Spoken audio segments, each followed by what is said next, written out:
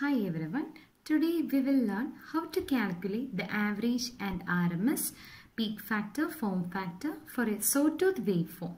Okay, so for a sawtooth waveform, the sawtooth waveform is given in this diagram and it is having a time period of pi interval. Okay, so after pi interval, the time the particular waveform is getting repeated and the equation of this particular waveform is cannot be written directly since it is in the form of a straight line. So we have to develop the straight line equation first.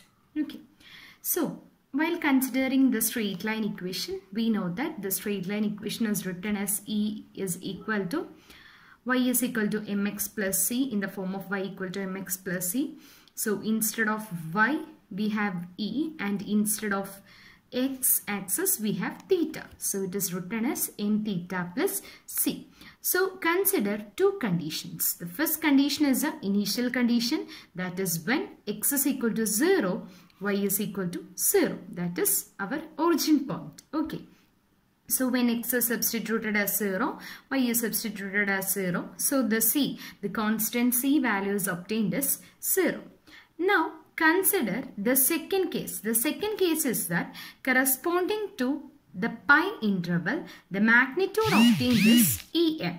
Okay, so corresponding to the x value that is pi, the y magnitude is obtained as Em.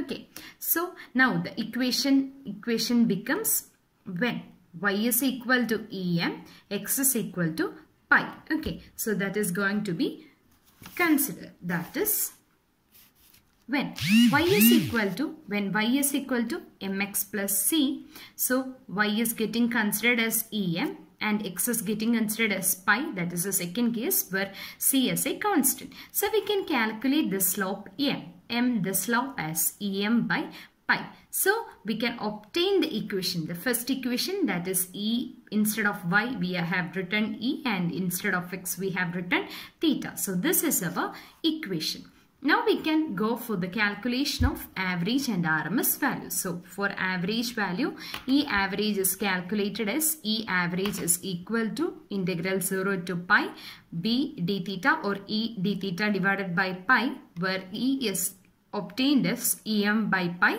theta. So it is getting substituted and integrate with respect to theta over the interval 0 to pi.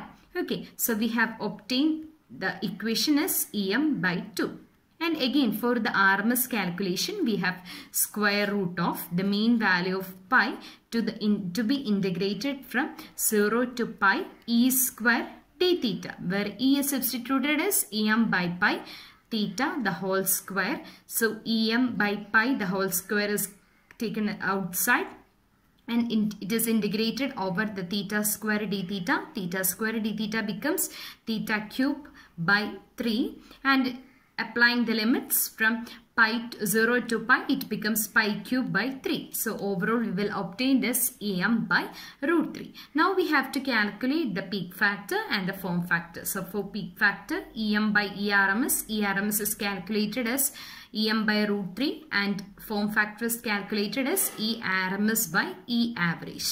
And so all the values of a sawtooth waveform is getting calculated. Thank you.